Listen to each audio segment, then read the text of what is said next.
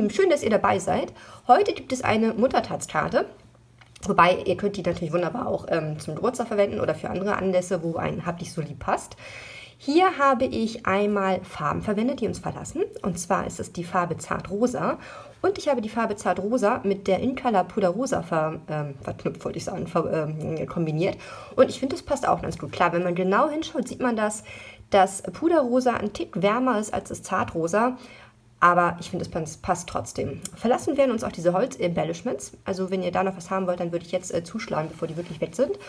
Und ansonsten bleibt uns alles erhalten, genau. Die weitere Farbe ähm, ist hier Schiefergrau und dann Flüsterweiß. Und da habe ich extra starken Flüsterweiß-Karton genommen, weil ich nur zwei Lagen verwendet habe und weil es ein bisschen stabiler sein sollte. Deswegen ähm, eben der extra starke. Bedeutet aber natürlich auch, dass die Karte ein bisschen schwerer ist.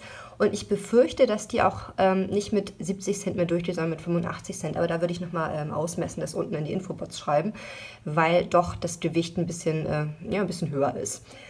Ja, ähm, fangen wir gleich mal an. Oh, und was mir noch eingefallen ist, ich habe seit Ewigkeiten mal mein Schiefergrau nachgefüllt. Und ich hätte niemals gedacht, dass mein Schiefergrau so kräftig sein kann. Deswegen traut euch ruhig, ähm, füllt auch eure Stempelkissen nach, weil die Farben sind danach wie neu. Ich, ganz ehrlich, ich glaube, so, so intensiv war mein Schiefergrau auch noch nie. Kann ich wirklich nur empfehlen und geht ganz schnell und ist äh, wirklich unkompliziert. So, genug ähm, der langen Worte. Ich habe mir hier was zurechtgeschnitten und zwar, muss ich das einmal falzen, hoffe ich wackel nicht so.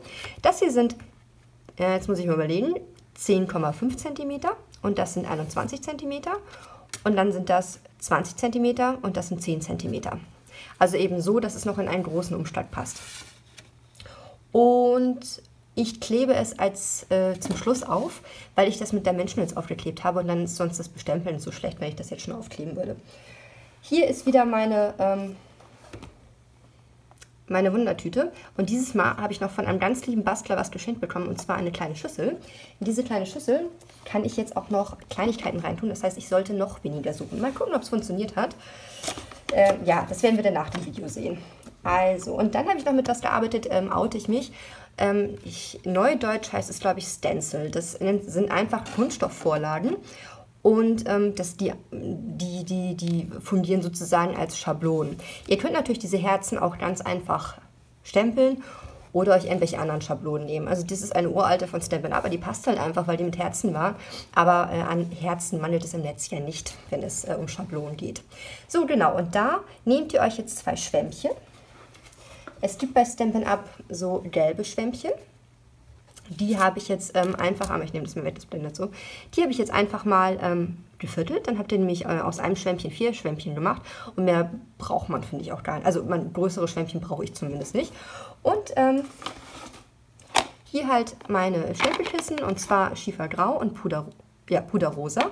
Das sind noch die alten, wie ihr seht, das war nicht die neue Form. Ich habe mich jetzt entschieden, peu à peu alles auszutauschen und ähm, ja, zum Beispiel Schiefergrau bleibt uns ja erhalten. Und die Farbe ist ja nicht schlecht. Das heißt, auch mit der arbeite ich erstmal weiter und äh, werde mich erstmal den neuen Farben widmen, die es ja auch gibt. So, jetzt muss ich mal wieder in mich gehen. Ja, genau. Also, hier die zweite. Das habe ich mir jetzt hier so hingelegt. Und ähm, jetzt wird geschwammt. Also, jetzt wird mit dem Schwamm gearbeitet. Dann nehmt ihr euch hier so diese Schwämmchen und wackelt ein bisschen, so wie ich und fangt von außen an und arbeitet euch vor. Und ihr könnt natürlich so viel Herzen, ähm, so viel Herzen anmalen, wie ihr möchtet. Und schön festhalten. Ihr könnt alternativ auch das festkleben, hier diese Schablone.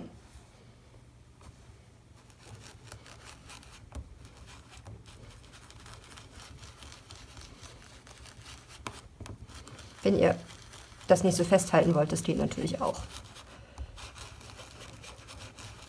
Und hier, wenn es ein bisschen dunkler werden soll hier unten, dann geht ihr einfach öfter rüber mit dem Schwämmchen. So, muss ich einmal gucken, hier rutschen meine Ärmel sonst runter. Genau. So, wenn ihr das jetzt abnehmt, habt ihr hier lauter kleine Herzchen.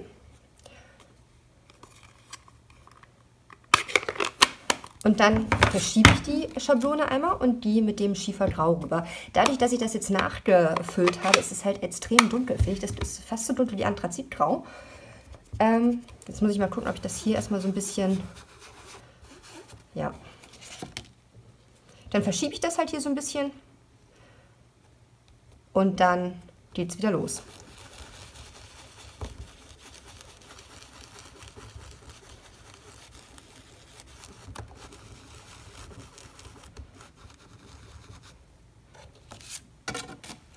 So, fertig.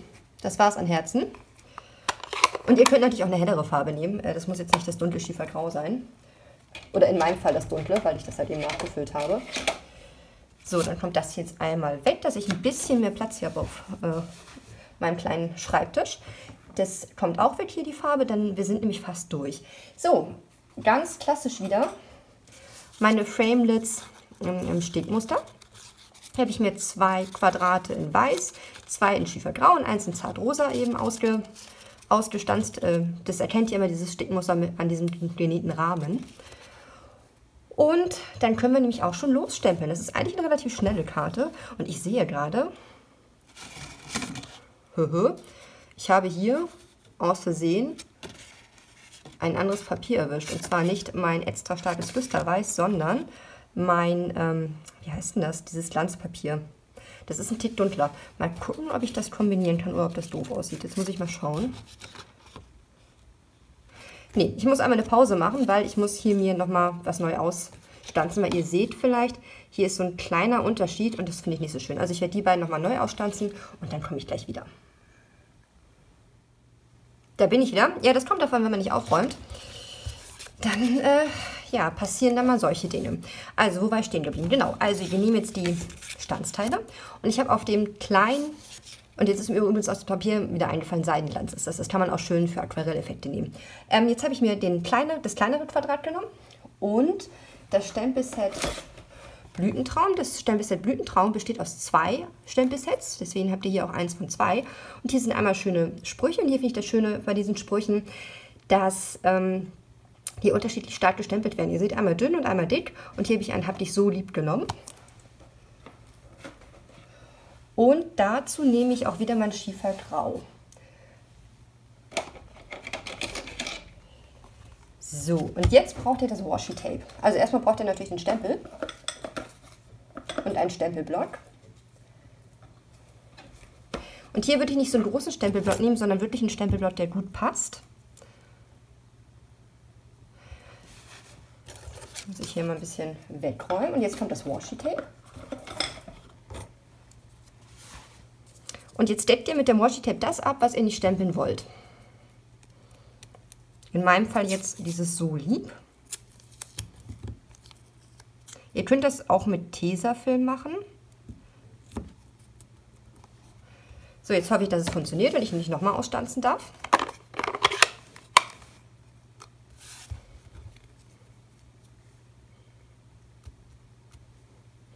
Dann nehmt ihr das ab.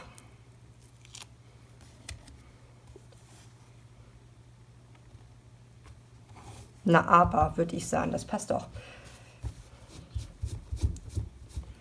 Einmal sauber machen. Jetzt kommt die andere Seite.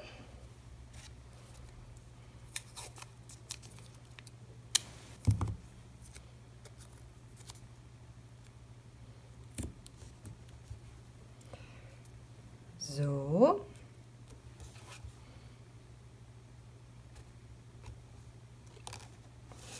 Ach, ich bin doch doof, oder? Also ihr müsst natürlich das Washi-Tape erst abmachen. Ich erzähle es noch großartig und mache es trotzdem nicht. Ja, ich würde sagen, noch eine Runde und dann bin ich gleich wieder da. Ja, was lange währt, wird endlich gut. Ich habe es hinbekommen. Ich erzähle noch großartig, dass ihr das Washi-Tape abmachen müsst, macht selbst nicht. Ja, das ist halt der Vorführeffekt. Also das kann natürlich weg. Und ich habe, weil ich das ein bisschen leer fand, noch ein weiteres Stempelset verwendet. Und zwar das Stempelset Bannereien. Hier muss ich mal gucken, ob uns das verlässt. Ich bin mir gar nicht so ganz sicher. Und hier habe ich einfach so ein, was ist denn das? Ähm, Blatt, Zweit, das habe ich jetzt verwendet. Und auch in Schiefergrau gebastelt, äh, gebastelt gestempelt.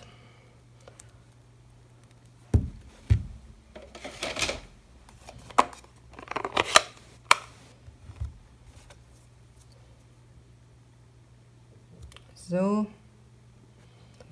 bin am überlegen, ob ich den ersten oder den zweiten...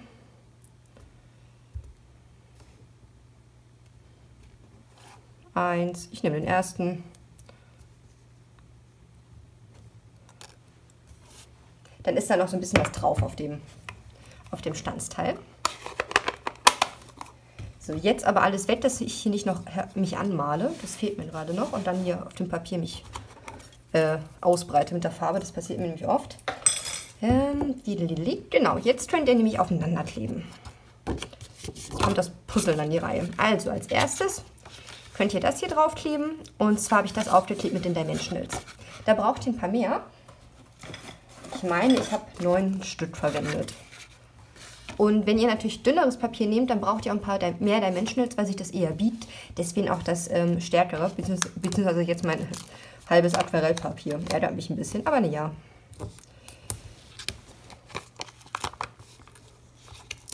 Stopp. So. Und noch zwei. Huch. Haare müssen auch nicht mit drauf. Ja, jetzt fängt das Gefriemel wieder an hier.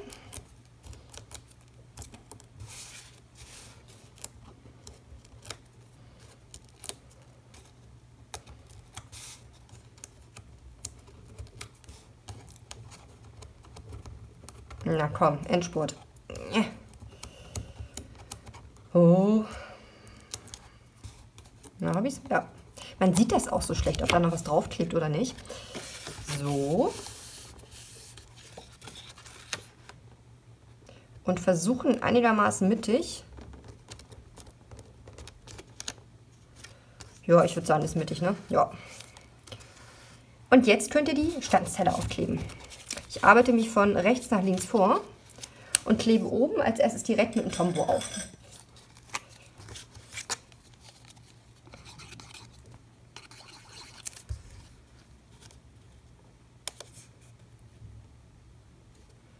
So, jetzt kommt hoch, zweimal der Menschnitz.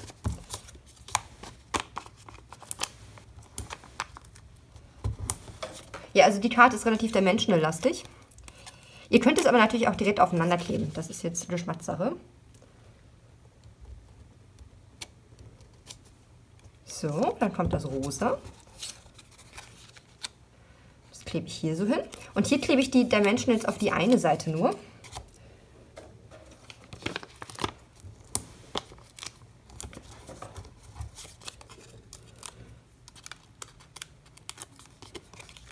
So.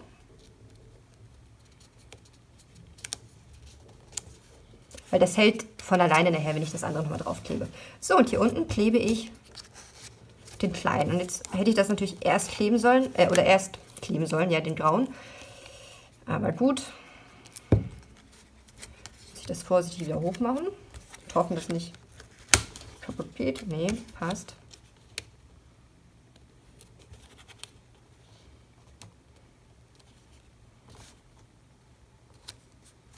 So, Jetzt kommt hier mein richtig gestempeltes hoffentlich, ja. Das klebe ich direkt auf. Und dadurch ist nämlich das Rosane jetzt auch fixiert.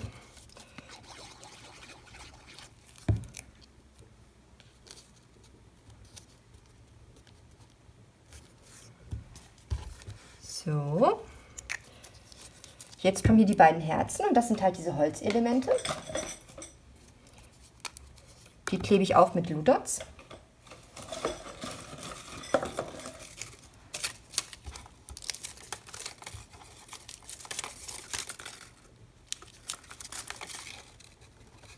1. Und bei dem Holzteil, ähm, bei dem nur das Äußere zu sehen ist, also dieses ausgeschnittene, das ist ein bisschen, da klebe ich halt den Blutdot nach unten. Jetzt kommt noch das Benzel, natürlich wieder mal mein Leinfaden. Eine kleine Schleife. Die jetzt gerade nicht will. Ja,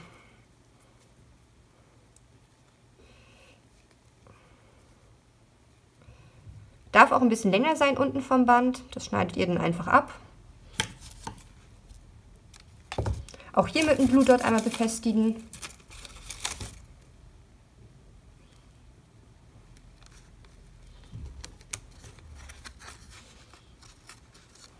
Ich klebe dann den oder das Blue Dot hier so hin.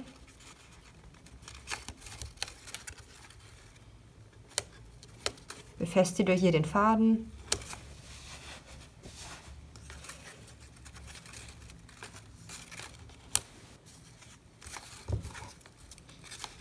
Schneide ein bisschen das ab.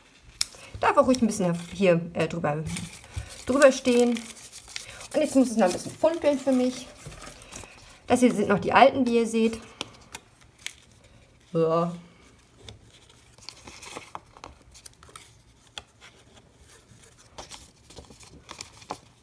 Einfach so verteilen, wie ihr es schön findet. Ihr könnt natürlich auch viel, viel mehr noch äh, draufkleben an Steinchen. So, und fertig ist die Muttertatskarte. Ja, vielen Dank fürs Zugucken. Und ich habe noch einen Blog, da könnt ihr ein bisschen drauf stöbern. Ich habe noch ein paar mehr Videos. Und äh, bis zum nächsten Mal. Tschüss.